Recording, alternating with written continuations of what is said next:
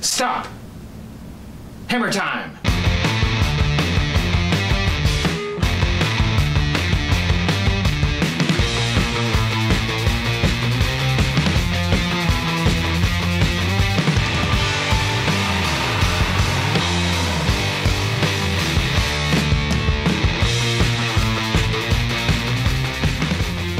Hello everybody, Hooded Cobra Commander 788 here. It's time for another vintage G.I. Joe toy review, and we are returning to the 1990s this week, and we are looking at something good. See, the 90s wasn't all bad. I try to point that out as much as possible. The vehicle we're looking at this week, the Hammer, was completed thanks to donations from viewers. Thank you to everyone who helped, in particular, Jason Karist and Jesse Kussatz. There were some others who helped. I didn't know if they would want their names in the video, but you know who you are. Thank you very much. I really appreciate all your help. G.I. Joe's first Jeep was not the Vamp, it was the Five Star Jeep from 1965. The Five Star Jeep was modeled after the World War II era Willys Jeep. This began a tradition of using real world inspiration for G.I. Joe's general purpose wheeled vehicles. The tradition continued with the Vamp in 1982, which was based on a combination of the Lamborghini Cheetah and the FMC XR311. The Vamp was so popular they just kept reissuing it in different colors for years. In 1990, they finally broke away from the Vamp, but they continued the tradition of using real world inspiration with a toy based on a real vehicle that would soon be all over American TV screens. The Hammer is notoriously difficult to complete. It's a relief to me to finally have it ready to show you. HCC 788 presents The Hammer. Hammer go, hammer empty, hammer yo, hammer, and the rest can go in play. Can't touch this. This is the 1990 G.I. Joe Hammer, the high-tech attack jeep with dual missile launchers. And thankfully, Hammer is not an acronym. And that's good. Hammer is a cool name. You don't need to make a strained acronym out of it. I'm looking at you, warrior hovering assault launching envoy. This vehicle was introduced in 1990 and was available in 1990 only. It was discontinued for 1991. It was designed by Frank For Hasbro. The Hammer did not come with a driver. That reflects a change in the 1990s. In the 80s, a vehicle this size would usually come with a driver action figure. The Hammer is based on the real-world Humvee, the high-mobility, multi-purpose wheeled vehicle. See what happens when you go crazy with acronyms. The Humvee was a modern replacement for the classic Army Jeep and took over the roles of several small and mid-sized wheeled military vehicles. It began service in 1983 and first saw combat in 1989. Most Americans would have been aware of the Humvee during the 1991 Gulf War. The civilian version of the vehicle, the Hummer, was released in 1992. In the G.I. Joe universe, the Humvee continues the tradition of G.I. Joe vehicles that filled the role of the classic Army Jeep. The first of these vehicles in the Real American Hero line was the Vamp from 1982. The Vamp is still fondly remembered. It was so versatile, it was reissued many times in many different forms for both G.I. Joe and Cobra. In 1984, G.I. Joe had the Vamp Mark II, which was a desert version of the Vamp with a missile launcher instead of a gun. The original Vamp was also reissued that year as a Sears exclusive, packaged with the 1982 HAL. In 1985, the AWE Striker took over the role of the Vamp, and it was an all new vehicle this time. Like the Vamp, it was based on a real world vehicle, and it is another classic. The AWE Striker has a lot of fans. In 1987, the Crossfire was about the same size as the Vamp, it was slightly larger, and it kind of had the same function, but the Crossfire was more of a novelty. It was a radio controlled vehicle that could be used with G.I. Joe action figures. In 1987, we got the Battle Force 2000 Eliminator. I don't really count it in the lineage of G.I. Joe general purpose wheeled vehicles because it is closely identified with that specific sub team, and unlike the Vamp and the AWE Striker, the Eliminator never really quickly became a classic, well remembered vehicle. In 1988, we got the Desert Fox. It fit the role of the original Vamp and it had desert colors similar to the Vamp Mark II. With greater size and more features, it was a bit of an upgrade. That year, there was also another reissue of the Vamp, the Mail Away Vamp Mark II. In 1989, there was yet another reissue of the Vamp, the Tiger Force Tiger Sting. Are you seeing a pattern here? The Vamp was reissued a lot, and this doesn't even count the Cobra and Dreadnok issues of the Vamp. That brings us to 1990 and The Hammer. G.I. Joe finally left the Vamp behind and went in a new direction, but it wasn't a radical direction. The Hammer, like the Vamp, was based on a real-world vehicle. That helps keep the Hammer grounded and believable, even though they piled a huge number of weapons and features on it. Comparing and contrasting the Hammer and the Vamp head to head, obviously the Hammer is much larger and has a lot more features. How can you compare these two vehicles? Obviously the Hammer is a huge step up, right? Well, the Hammer has a lot going for it, but it has some problems too. We'll talk about it. The Hammer did not come with an action figure. It would have been nice to have an updated clutch figure to drive this thing. I didn't have the Hammer as a child. I was out of G.I. Joe before 1990. If you had this vehicle back then, did you have a go-to driver for it? Who drove your Hammer? I don't usually have the boxes for vehicles, so this is a bonus. We can see how the Hammer was packaged and marketed to kids back in 1990. Looking at the front of the box, we have the G.I. Joe logo up at the top. We have the name of the vehicle, the Hammer high-tech attack jeep with dual missile launchers. We have a sticker advertisement for official combat pay. Then we have the box art. The box art is still mostly in the 80s style. It has the the digital explosion background that we got from the mid to late 80s. They hadn't quite transitioned to the 90s box art style. The box art shows the hammer loaded with 1990 G.I. Joe characters. All of these guys were available at the same time as the hammer, and the artwork makes them all very clear. You can tell who everyone is, except for the driver. The driver is almost entirely obscured. By process of elimination, I believe believe this is Bullhorn, but it's hard to tell based on the artwork. Topside is a Navy man, but I guess they needed him for a land mission. He's still wearing his life vest. You never know when you could drive into a puddle. Safety first. What exactly is Pathfinder doing with his weed whacker? I think he's threatening Topside with it.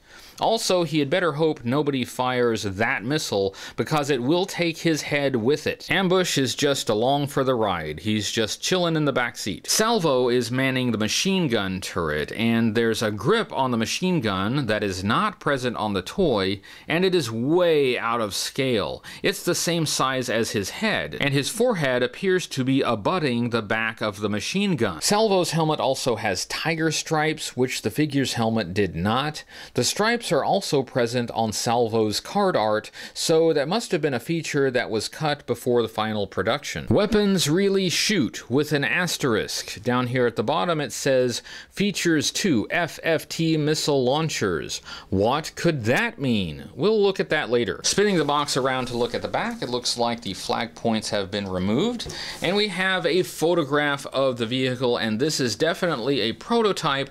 There are some differences between this photograph and the production vehicle. There is that grip that we saw on the box art that is not on the production vehicle. Also, I noticed on the hood these hooks are loops on the production vehicle. On the wheels, it looks like they have metal screws holding the wheels on. That doesn't look too bad. Unfortunately, the toy doesn't have anything like that.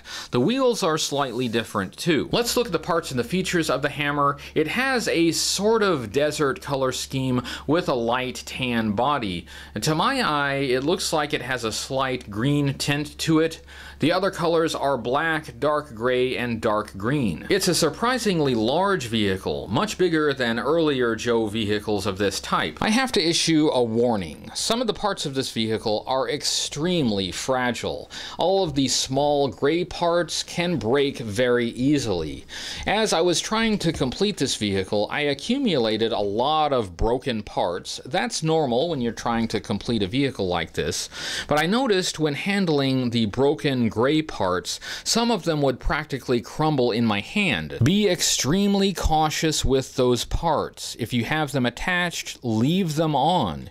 If you need to remove them, go slow and watch for stress points. The shell of the hammer is actually quite sturdy. It's a solid vehicle. The large dark gray pieces, like the canopy and the bumper, do not seem to be fragile, and the dark green pieces aren't too bad either. But the small gray pieces will break on you with very little pressure. Taking a closer look at the hammer, here in the front we have a bumper in dark gray plastic, and it looks really good. It has a molded in winch and some rings and rivets and a couple stickers. Uh, very nicely done, and doing it in dark gray adds a bit of color here in the front, which it really needs because from here up it is very monochromatic. We have the front grille, and the headlights are behind a grate. That adds some depth. And on the hood, we have a slatted vent. That also looks really cool, and we can kind of see the engine through there. Uh, we also have these loops, which I guess you could use to connect the hammer to a helicopter uh, to airlift it out. Of course, you'd also have to hook it somewhere in the back. Uh, I guess you could probably hook it by the tow hitch. The hood on the hammer does open. It is hinged on the front. It opens from the back. It has a couple tabs here that hold it closed. Uh, it is best to move the machine gun out of the way uh, and then just uh, kind of squeeze it from the sides and pull it forward slightly and then you can open it forward. Opening the hood reveals the engine and the engine looks pretty good. It is molded into the main body of the vehicle so it has all that same color and that maybe doesn't look too great but that was pretty common on GI Joe vehicles. But they did add some extra dark gray parts that does add a bit more color. We have some pipes and we have a couple fans here. So that does help the engine a little bit, uh, but it's just nice to have an opening hood and a detailed engine under it. We can close the hood, just swing it down and latch it. The hammer has four black wheels. They roll pretty well. They are all the same and they are attached to the main body of the vehicle on these exposed mushroom clips that punch right through the center of the wheel. Those are kind of a problem. They are unsightly and connections like these should be covered up. That kind of exposed connection for wheels is not new to the Hammer. We had exactly the same thing on the 1988 Desert Fox. Here's where I can give the original Vamp some credit. The hubs for the wheels look great. They do not look like toy pieces. The front wheels do not steer, they are fixed, and that's okay with me. I always thought that feature was a bit more trouble than it was worth. I'm going to use one of my spare hammers to show you the underside. The underside is mostly hollow. The front wheels do not have an axle. They just tab onto these extended pieces on the underside of the body. But oddly enough, the rear wheels do have an axle. And the axle even has some molded on rivets, uh, like it's supposed to be decorative or something. But the underside of the vehicle is basically hollow and has uh, no sculpted pieces on it at all. So it's kind of odd that they would go through the trouble of adding an axle for the back wheels only. On each side of the hammer we have these side running boards and each one of those has two foot pegs. Foot pegs very close together, I think too close together. I would only use one of these foot pegs. Also on each running board there is an arm with a machine gun attached to it. The arm is in dark gray plastic and the machine gun is in dark green. Uh, each of the arms will swing out about 90 degrees uh, and the machine gun will elevate. At the base of each of these arms is a platform with two foot pegs. That is for a machine gunner and that platform is a separate piece. It is not molded into the arm. So if you're trying to complete a hammer, make sure you watch out for those. The blueprints call these multi-deployable twin-barreled side gun stations. The guns are in dark green and they look pretty pretty good. Uh, each of the guns has a couple side grips, and those grips I think are perhaps a little too thick to use for the action figure uh, to actually place the action figure's hand on them. Uh, you would risk breaking the thumbs on the figures, uh, or maybe even breaking these grips right off the gun. So I would not use those. These side-mounted guns have a slot that goes right through them, and that can be used in conjunction with the included ammunition belt. It can be fed right through that slot. However, I would not do that due to the fragility of the ammunition belt.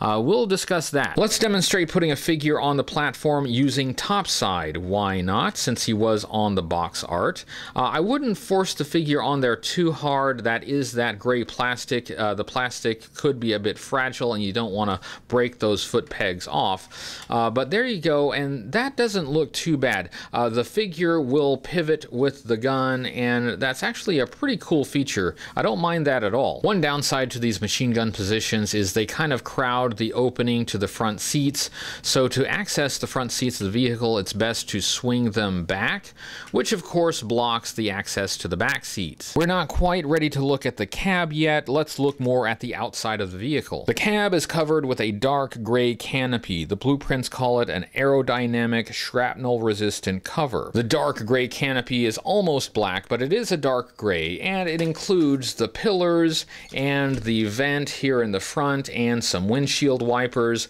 There are no clear plastic windows, that is totally open, and that is also pretty standard for G.I. Joe vehicles. Even though the canopy is in dark gray, it is in a different kind of plastic than the other dark gray pieces, and they don't seem to be very fragile. I rarely run into broken canopies. Uh, these are quite solid. On the gray canopy, on the passenger side, we have the top mounted machine gun turret. The machine gun and turret are in dark green plastic, except for this ammunition belt, which is in dark gray. And I'm actually going to take this out for now, just for safety. We'll talk more about this ammunition belt a little later. This dark green plastic is a bit more sturdy than the gray pieces, but I have run across a few broken guns and turrets, so have some caution with these pieces. The turret consists of a green ring that goes around an opening in the canopy, and the gunner stands inside the vehicle and operates the machine gun on top. The turret can rotate 360 degrees, but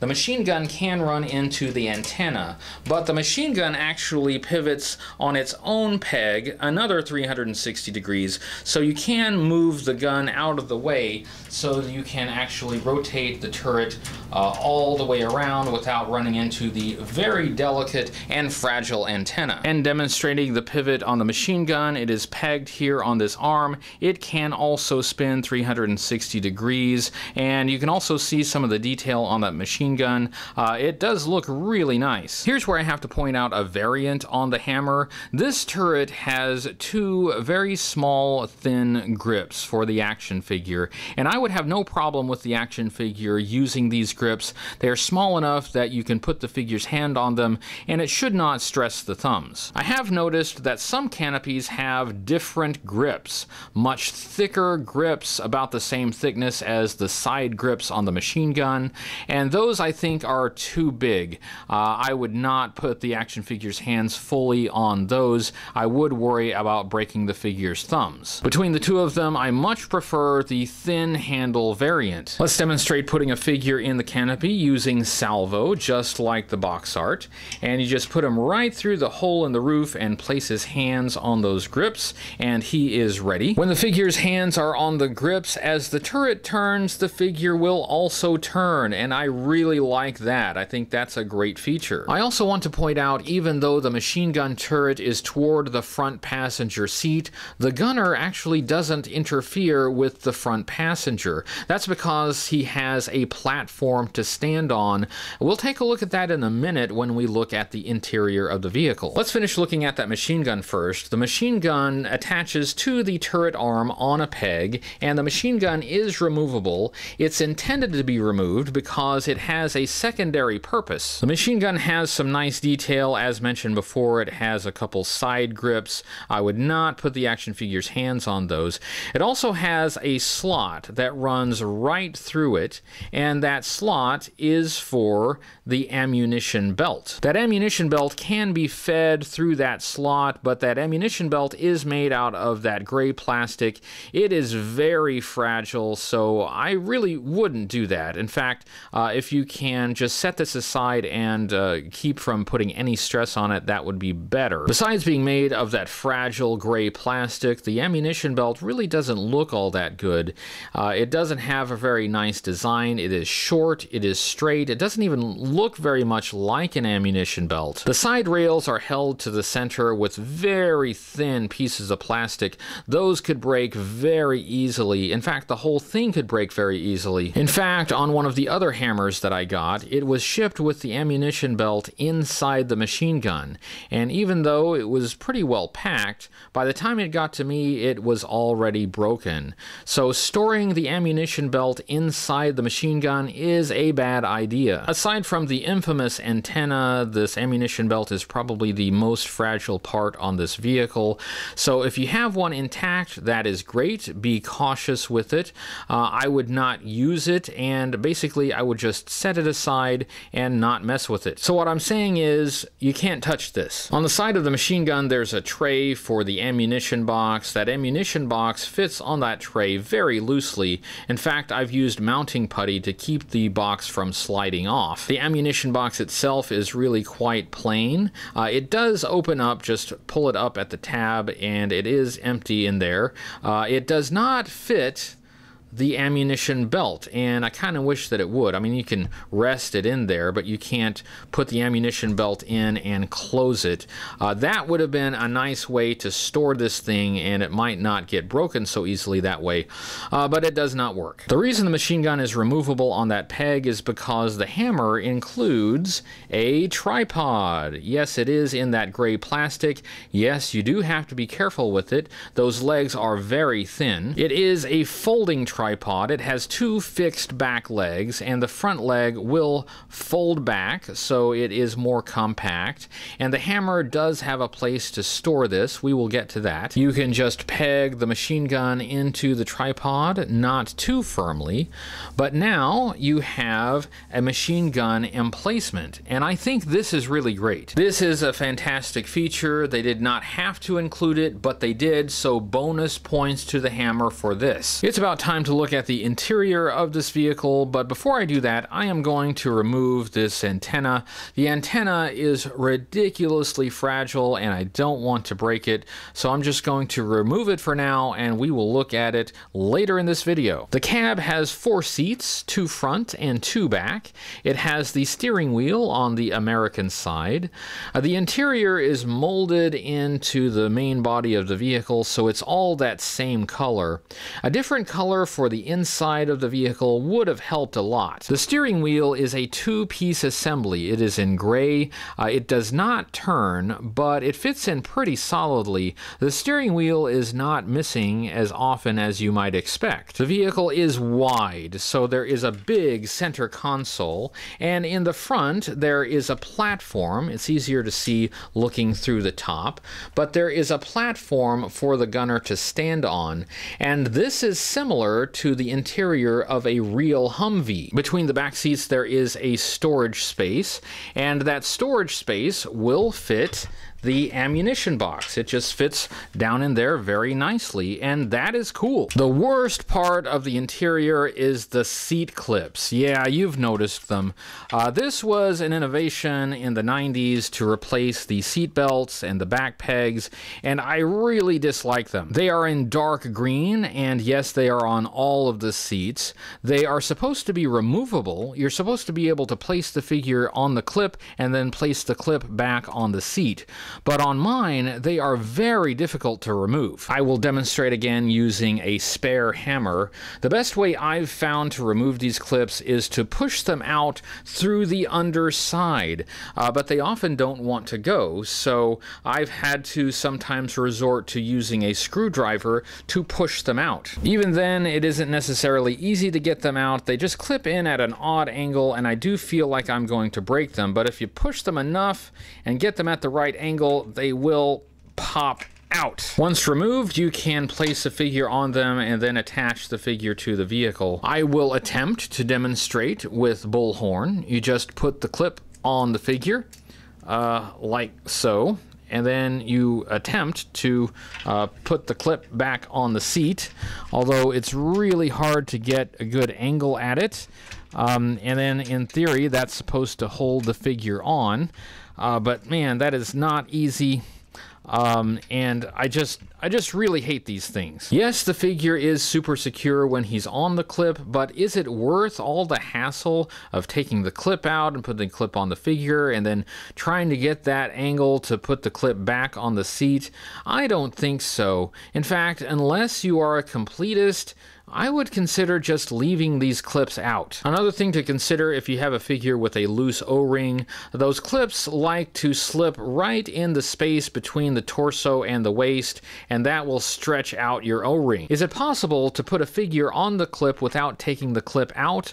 Well, with the steering wheel in the way, it's it's very difficult to get to get an angle where you could actually put the clip on the figure. I mean, if you work with it, you might be able to do it, but um, it's a little easier on the other seats without the steering wheel in the way. For instance, the back seat, you can sort of work an angle uh, to get the figure into the seat and into the clip, uh, but um, I just hate these. Uh, this is the worst part of this vehicle. So now it's time for us to talk about those FFT missile launchers. In the back we have two missile launchers. Uh, they are gray and they each hold three green missiles.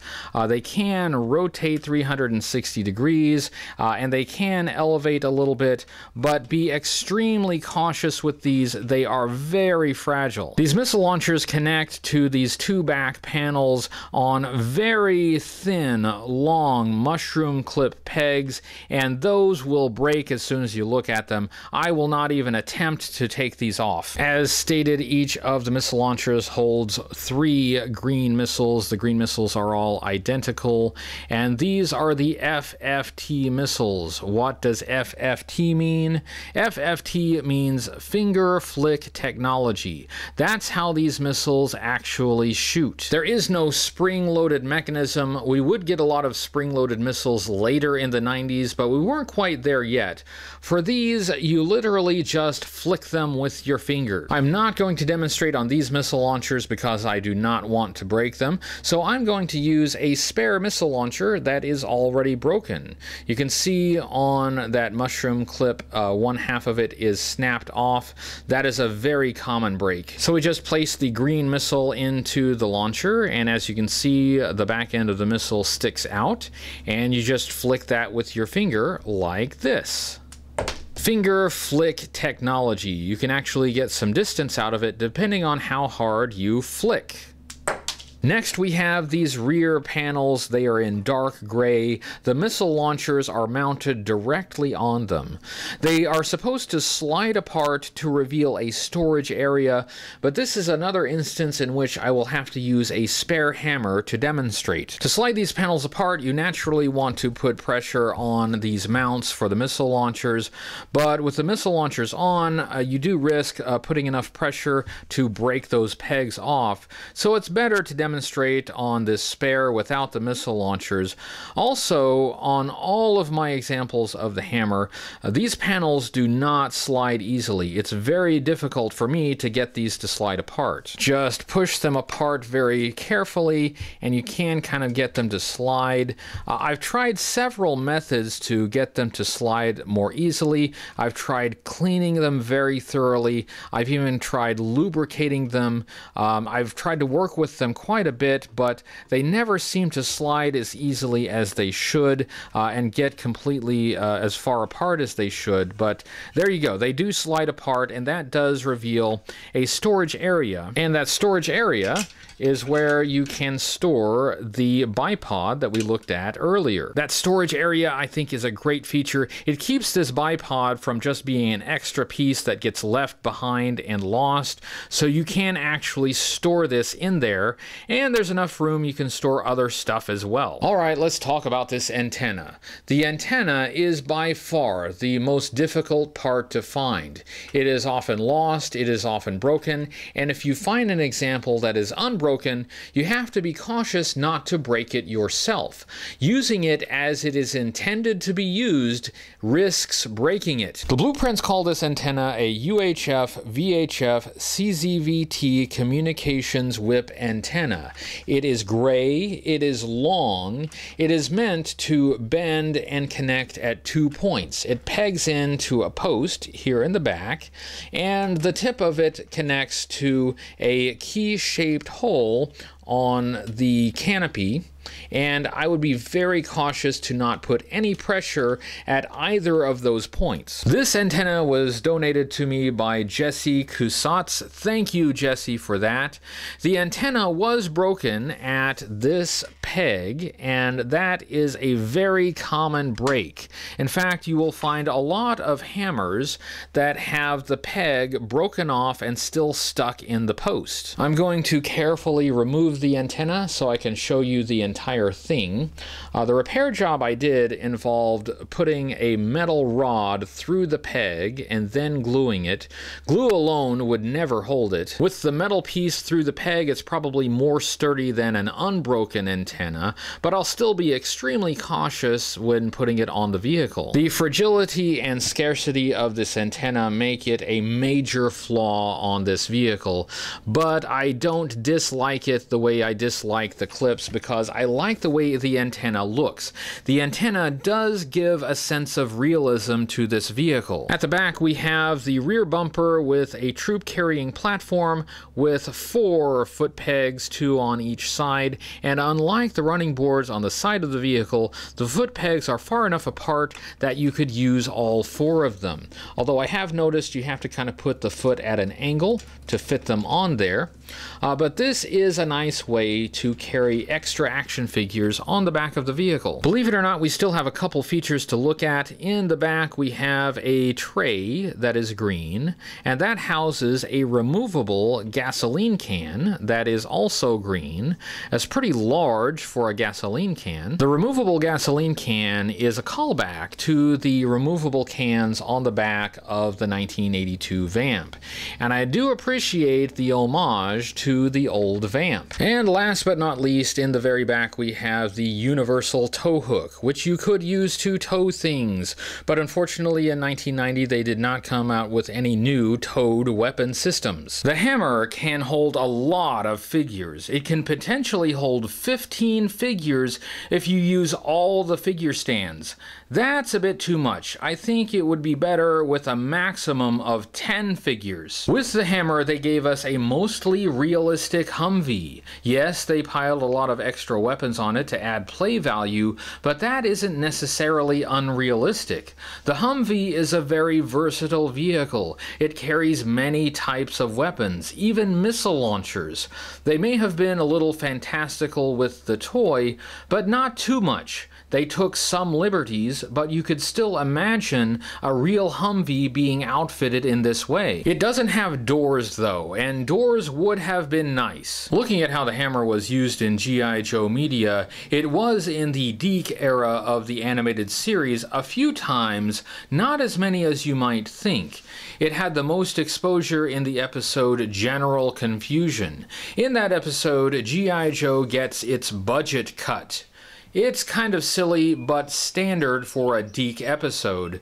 The hammer looks good animated. One positive thing I will say about DiC is they animated the vehicles well. In the comic book series published by Marvel Comics, the first appearance I can find for the hammer was in issue number 110.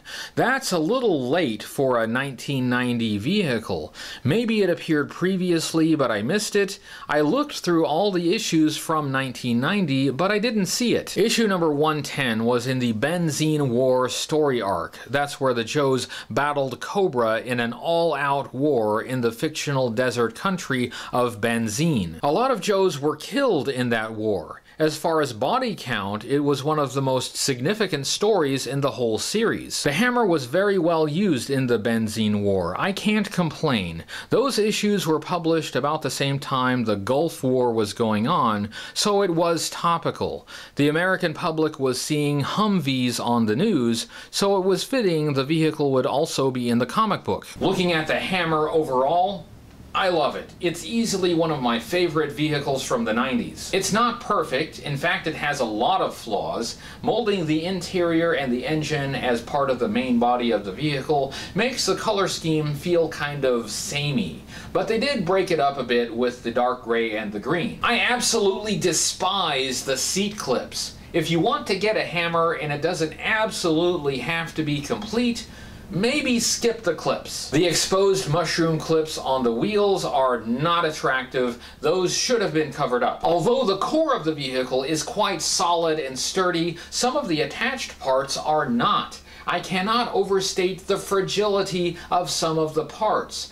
The antenna, the ammo belt, the missile launchers, the tripod all require special care. The great things about the Hammer far outweigh the flaws. They did not skimp on features. Nearly every inch of this vehicle moves or pivots or opens or holds a figure. Most importantly, it was based on a real vehicle and I always love that. I don't think that happened enough. Grounding a vehicle in the real world adds a new dimension that appeals to me. Reality is like a bonus feature. Yes, the toy came with blueprints, but do you want to know more about the hammer?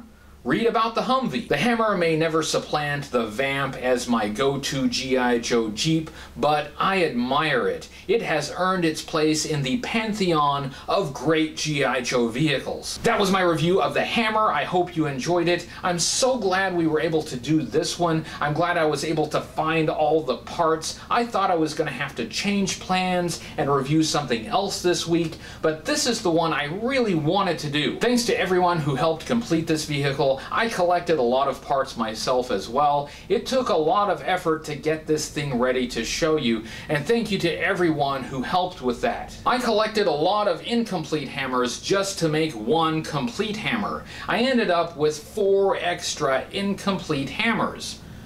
I don't need four extra hammers, so I've decided to give away the extra ones on this week's live stream. Make sure you tune in for that. We'll make a game of it and have some fun. It is my duty to remind you that Joe Fest is coming up soon, June 21st and 27 in Augusta, Georgia. I will be there. I hope to see you there too. I will have a table there, so please come and find me. Speaking of Joe Fest, I will be taking two weeks off in June. I've never taken that much much time off before, but I will need the extra time to prepare for the event and to travel. I appreciate your patience. I promise you will get bigger and better reviews when I return. As always, you can find me on social media on Facebook and Twitter and the website hcc788.com. If you like this video, please give it a thumbs up on YouTube and subscribe to the YouTube channel and hit the notification bell. Deepest thanks to all my patrons. I really could not do this without you, and that is not an an exaggeration.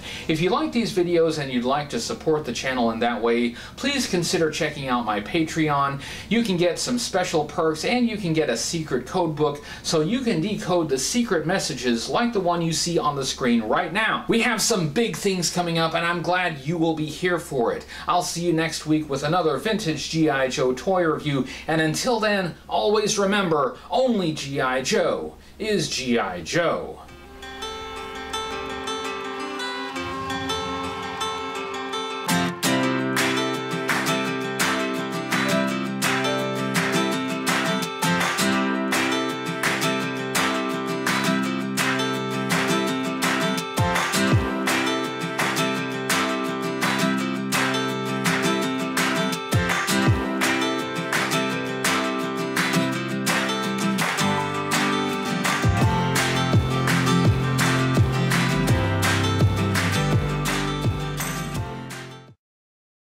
Love this no smoking sticker. You can smoke anywhere else in the vehicle, just not in that seat.